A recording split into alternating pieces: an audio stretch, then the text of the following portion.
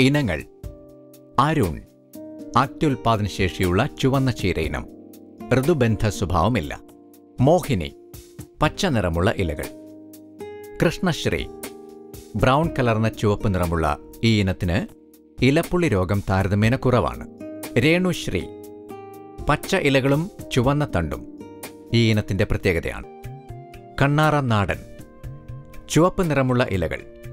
ഈ ഇനം November December മാസങ്ങളിൽ പൂവിടുന്നതിനാൽ നടയിൽ സമയം അതിനനുസരിച്ച് ക്രമീകരിക്കണം.